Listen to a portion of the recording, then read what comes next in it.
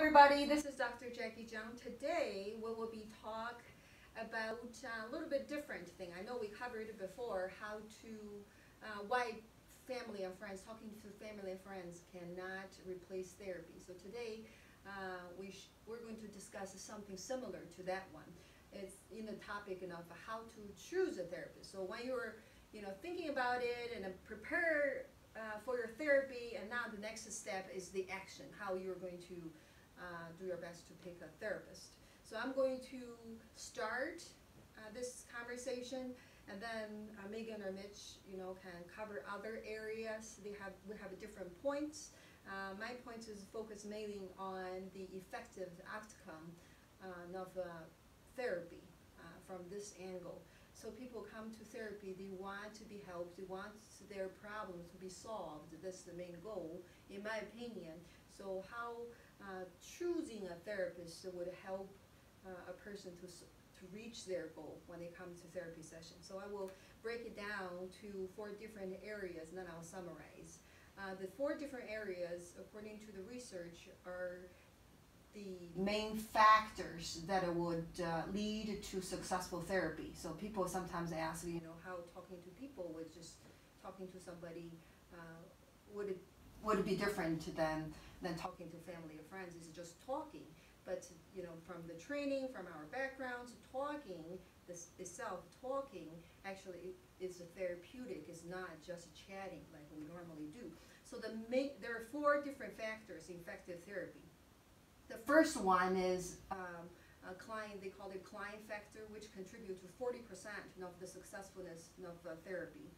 Um, the so-called client factor is about yourself, you know, what stages you are right now in your life. Uh, are you just uh, thinking about doing therapy? Are you already in action? You, you know, Google it, searching it, looking for, for good therapist around in this area? Um, or are you uh, right now really don't think it's necessary at this point for the so these factors cannot be controlled or determined by the therapist. It has to be you know from client's factor. How prepared a client comes in walking into the therapy office that contribute to uh, how successful the therapy uh, would be? Um, and also you know for clients that are court ordered you know how ready you are actually getting to the therapy that that is the factor that a therapist cannot control. I mean, some clients really don't want to be here, especially court ordered. They just sit here. They really don't get out of much from uh, therapy sessions. Uh, so in that way, you know, it probably is not going to lead to a positive outcome. You know, some teenagers would be, um, in a way, forced by their parents to, you know, you, you need to be fixed the therapist needs to fix you. And they really don't want to be there. And I've had teenagers sitting in my session the whole time and not speaking a word, talking about, you know, oppositional defiance. So uh, in that way, really, it's it's the time there they spend there sitting there, not really producing much enough for therapy work. And these factors, uh, I would uh, I would explain. Um, therapists can promote some type of participation, but uh, mainly it's from the client's um, point. You know, that's the 40% clients factor. Um, and also there are some factors, you know, uh, some clients uh, would bring in that a, therapist would not know, such as beliefs, biases, virtues, you know, are you, do you feel more comfortable talking to a female, male, what ethnicity you feel comfortable. Uh, these things cannot be controlled by therapists. It has to be what the client choose to be comfortable with. You know, another example would be grieving. You know, I had um, uh, some clients that uh, lost their spouses, you know, they come for grief, grief therapy. Uh, maybe they feel I'm too young, uh, maybe they feel some other way, you know, uh, during that time. So the connection was was not there. And it's nobody's fault. It's just the clients probably prefer an older therapist um, in that aspect. The second one, that is a therapeutic alliance. that is something that can be created and controlled a lot by the therapist. And I think that's very important. Although it's only 30%, I think that's more than 30%. The so-called therapeutic alliance is relationship. You can title it therapeutic alliance, therapeutic um, uh, relationship, rapport, yep, rapport. Um, and the, the difference between an experienced therapist and an inexperienced therapist, they did the research on that. It's not about their theoretical background. It's not about uh, their um, you know, behavior therapy or cognitive behavior therapy, client-centered therapist. It's not about theoretical approach. It's mainly about their uh, ability to establish therapeutic alliance, which means uh, experienced therapist uh, has uh, is capable enough to uh, establish better therapeutic alliance with their uh, clients, are easier for them to establish, make them feel welcomed, you know, trust, trusting those way. Um, also, you know, as Megan said, rapport, rapport in a way, it's trust. It's about how much you trust uh, your therapist, and that this type of trust can be created by your therapist. Um, and create an environment that you feel is very trusting. Uh, relationship heal. I have another point here. Says relationship heal, um, and that's a crucial factor for the rapport for the therapeutic alliance. A lot of uh, clients outside of the office, they really didn't have many significant uh, positive experiences. Uh, so-called non-positive experience is about relationships. You think about it, whether with your boss, coworkers, students, uh, um, parents, uh, those are all relationships. So the point of the therapy is to establish a positive relationship with your therapist so that you utilize the skill outside of your therapy room. And the third point that would, or third factor contribute to successful uh, therapy is, they call it placebo effect or hope, either way. And this can be contributed in uh, by both therapist and the client, which means uh, uh, you want to go to a therapy session with a therapist that actually would es establish hope in you uh, and themselves personally believe a therapy works. You don't want to go to a therapist that the therapist think that, oh, I'm just here for the time. You know, I don't really think that they could ever change uh, why I'm doing this. You don't want a therapy like that. You know, I don't think most therapists are like that. Most therapists believe therapeutic work would uh, produce positive outcome clients. That's why they're doing their job. So this placebo is about 15% uh, contribution to the successfulness of uh, positive outcome. And the last one is technique. And that technique I'm talking about uh, is on therapists um, on our end, is what kind of a technique you will use. For example, uh, there are different techniques, you know, um, Mitch probably can tell you more.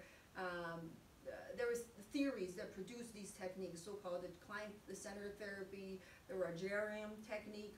Uh, these techniques are not used, researchers suggest they're not effective in treating uh, problematic behavior issued uh, teenagers, which means, you know, Rogerian, you just kind of repeat, give them feedback and uh, repeat what they said is um, unconditional regards. And uh, teenager have behavior issues, uh, research suggests an effective way would it be behavior therapy, play therapy, cognitive behavior therapy, and reality theory, which is what you can control in your behavior. These already established so-called evidence-based uh, practice is effective in treating oppositional defiant or delinquent you know, behavior. Um, but uh, other theories would be better, like for EMDR would it be good for trauma, uh, you know, uh, DBT would be good for borderline personality disorder. So there are different techniques the therapist could use. And there's some gestalt will be good to promote the self-awareness.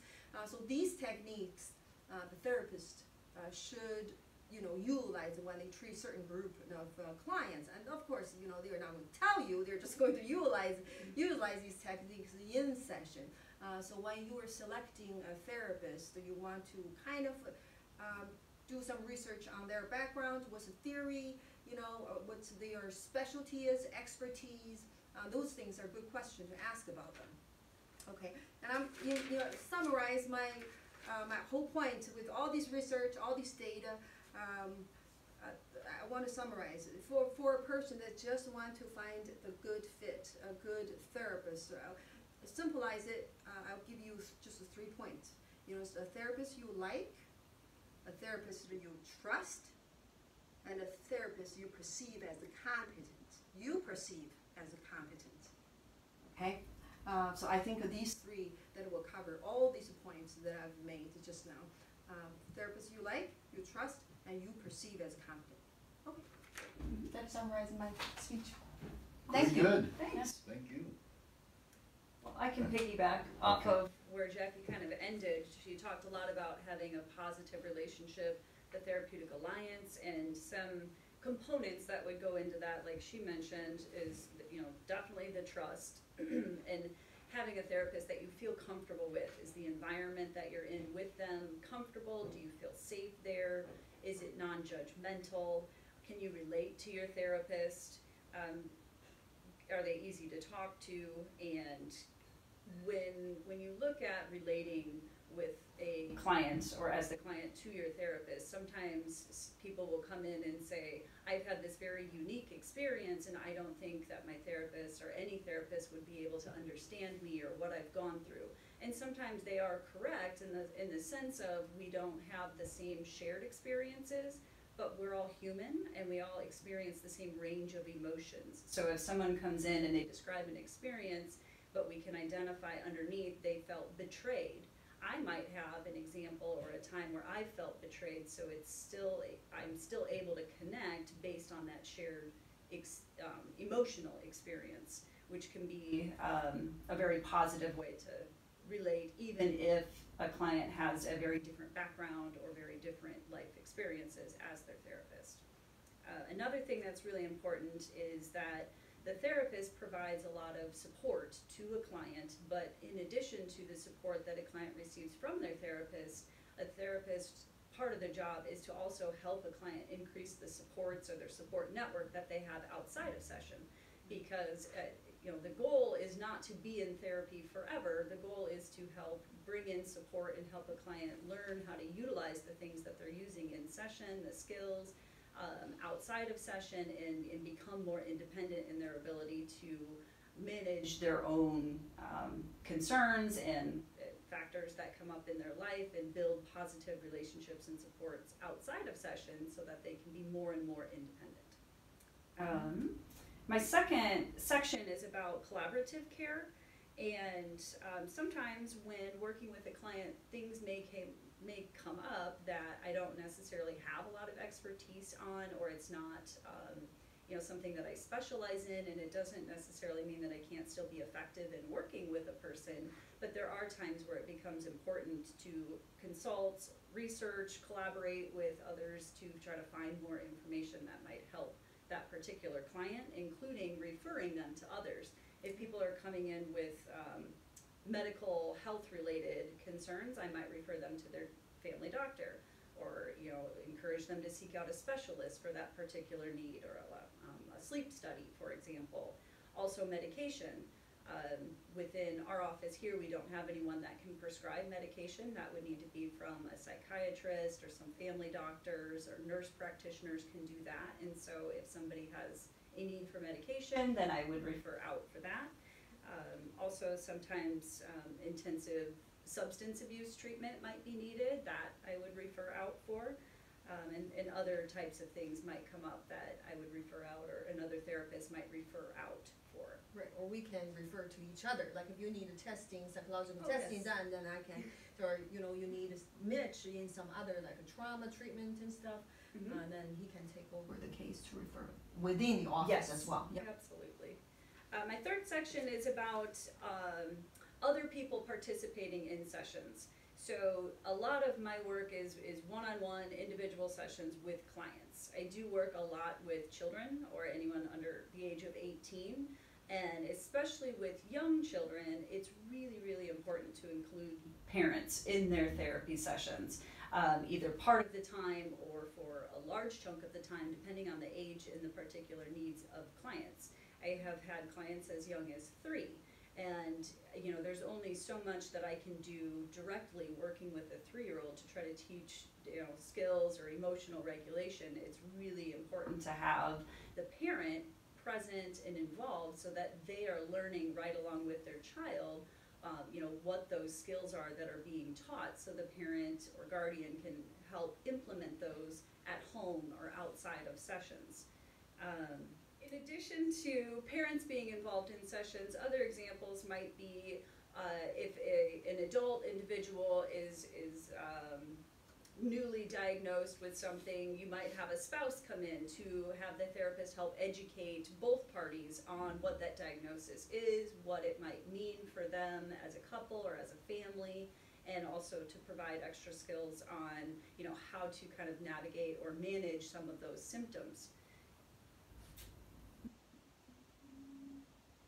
The other last point that I want to make is it's it's important for a therapist to ask clients about what their home environment is like outside of sessions because if they are coming from a place of, of a, you know a negative environment or having a lot of negative relationships or experiences if they are trying to work on themselves and, and make these positive changes it's helpful if the environment that they're returning to is also supportive of those changes that they're that the client is trying to make.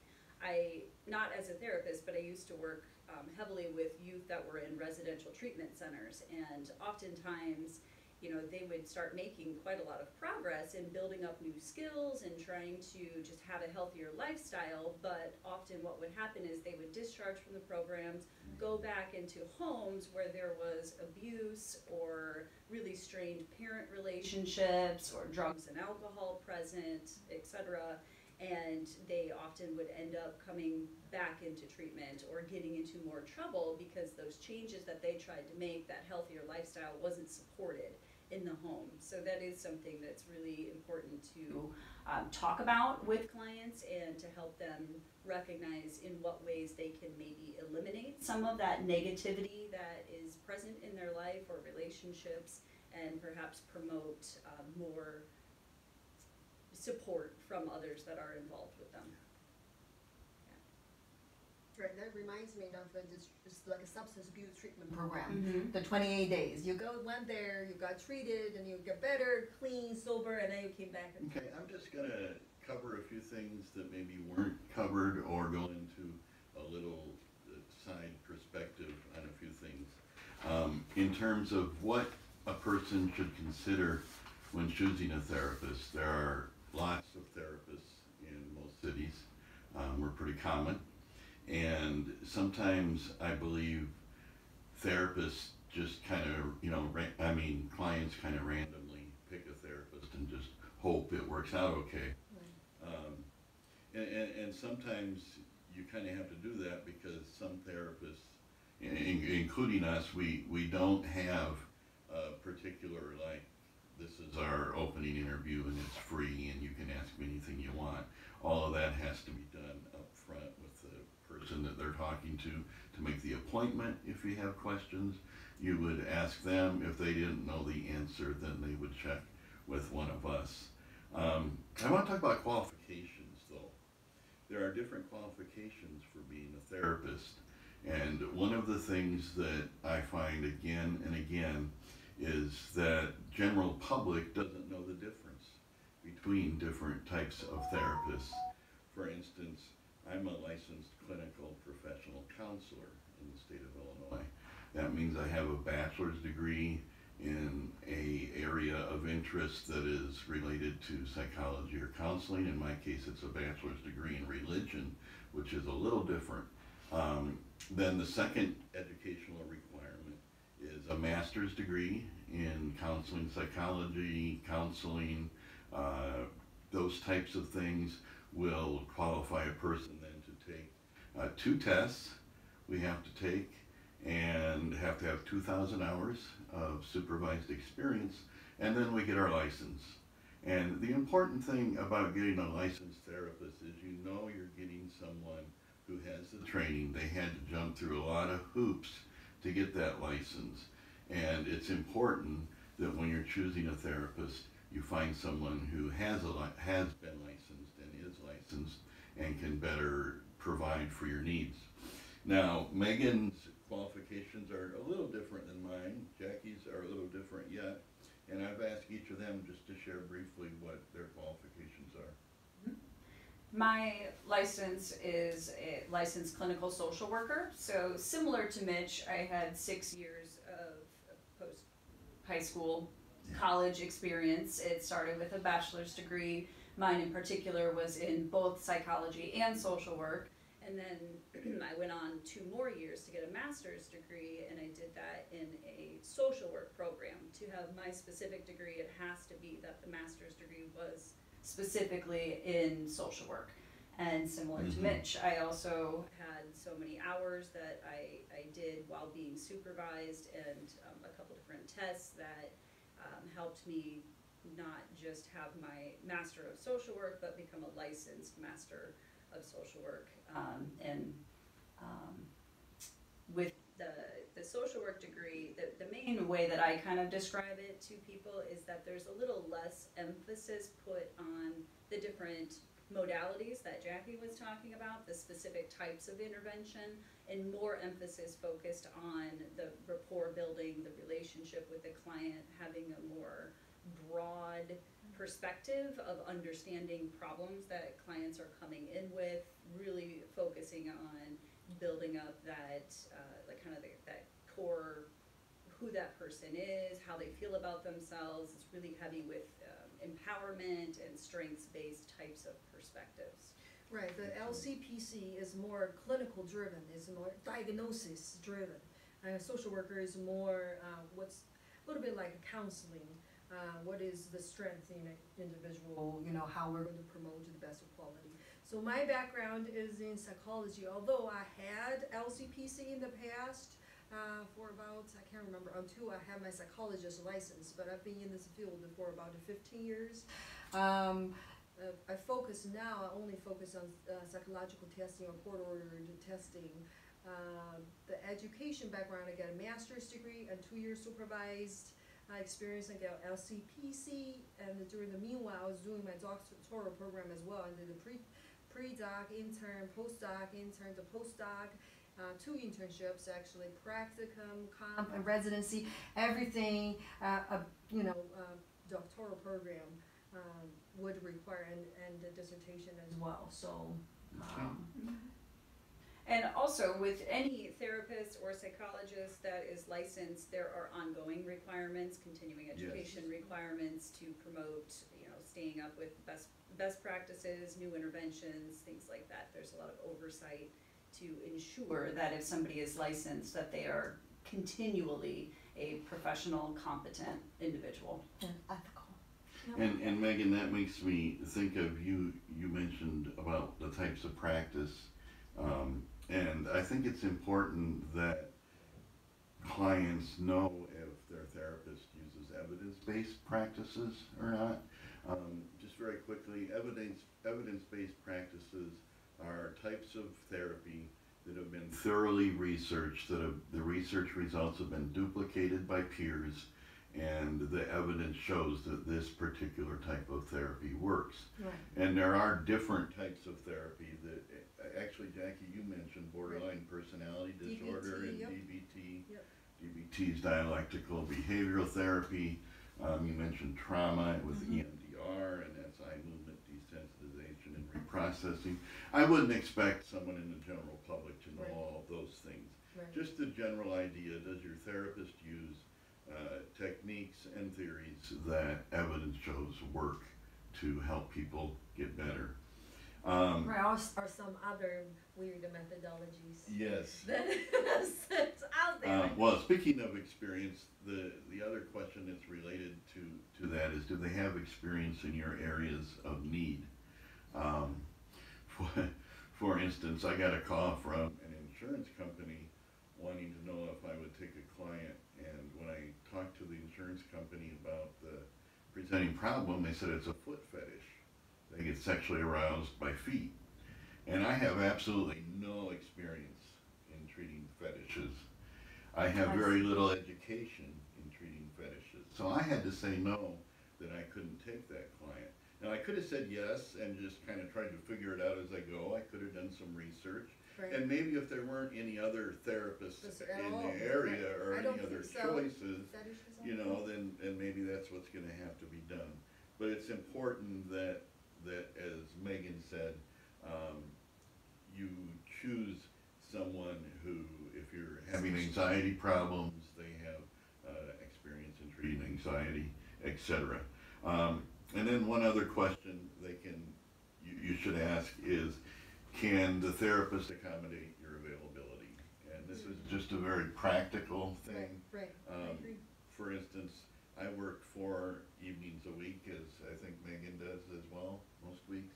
Right. And, um, I don't, I work to five. you come in earlier than we do though, Right. So, yeah. eight thirty to five, yep. So, um, the last thing I wanted to say was just, um, piggybacking, again, I've piggybacked on everybody today. Um, but I did a research paper when I was in my master's program on the effectiveness of therapy versus the effectiveness of the Native American shaman. And I came out with, with three conclusions from my research. And that those three conclusions, um, well, that's one conclusion based on three things. The conclusion is that a shaman is often just as effective as a therapist. And in my research, it identified three things. One was, does the culture support what you're doing for healing? So, in, you know, in the Native American culture, they support going to the shaman, Right. shaman. Um, secondly, let's see, what's the second one?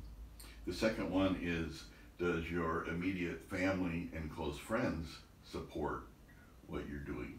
So do they believe in counseling? Do they believe in psychology? Are, are they, it kind of goes back to the supportive, Yep, the yeah, environment type so. thing.